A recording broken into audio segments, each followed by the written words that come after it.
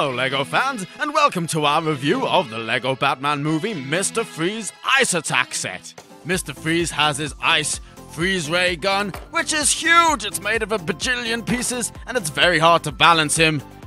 You can just about manage it, yeah, but he hasn't got much range of movement. That's why he needs his mech suit. This is the main build and main attraction of this set. This is Mr. Freeze's mech suit. It's made possible by some quite new Mixel type joint pieces, which are stiff enough that you can leave it posed or move it around any which way you like. This is really rather good, a very good development for making mech suits in LEGO. And you can see that the legs are just built up with some extra platey bits and stuff like that. And this fist is a new piece too.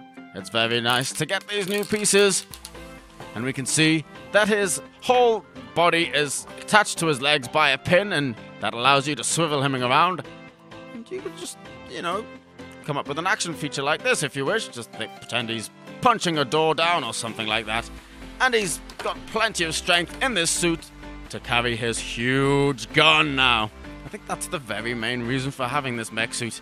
And you can see the technology at play with the greebling. I think it's very good. They've got those ray gun pieces coming out into these pipes. You can imagine there's some sort of icy water flow or some sort of fuel going through there. It's very good. And this back assembly, like the look of that, but you can flip it down on the hinge, and that is actually where you place your figure. I'll take him out just to show how easy it is. Take him out and put him in, and he's got a sticker piece there for his control console. So there we have it. I really like this. And here are the other two builds we get with this set. And this one in particular I think is very nice. It is an industrial setup for Gotham Electric Power Plant. And it's just a very small detail, but there's a lot crammed in here. I like the use of the sand green pieces here. We've got some nice piping all around with these red pieces. Just look at the main wall here. We've got a, a computer screen there. That's a sticker piece.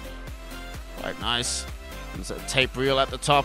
We have a control lever here with some lights on, a red and a green. I, would imagine that's on and off or stop and go. And we've got a pressure gauge there. I think that's for whatever's coming through these red pipes. So that's very nice. And also this little piece, I think this is just supposed to be some ice, which Mr. Freeze has used from his huge ice freezing gun to freeze this poor security guard.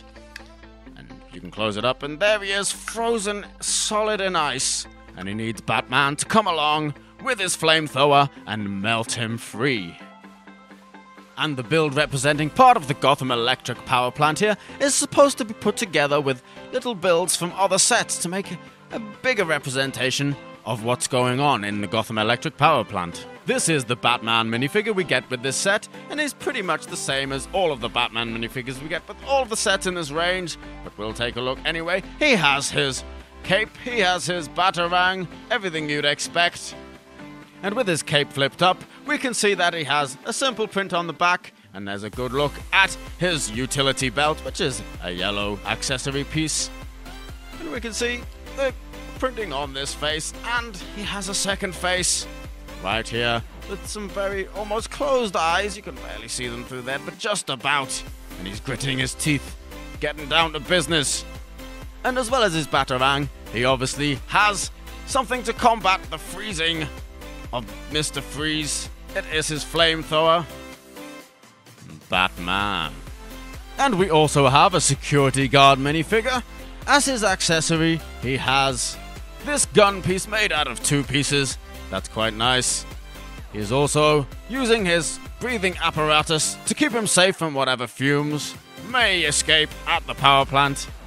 And I really like the printing on this. This could be used for a lot of things. A simple Simple shirt and tie with a security badge, that's very nice. We can see that the security guard has a fine mustache, and he has a second face on the back, with which he looks very alarmed. I'd be alarmed too if I thought Mr. Freeze was gonna come and freeze me. And I'll just show you what that second face looks like with the breathing apparatus. And here is the bad guy main attraction for the set. It's Mr. Freeze. And I really like the prints all over his body.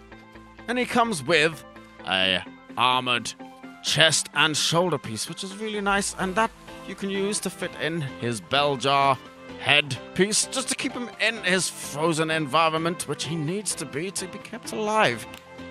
He has no alternate face.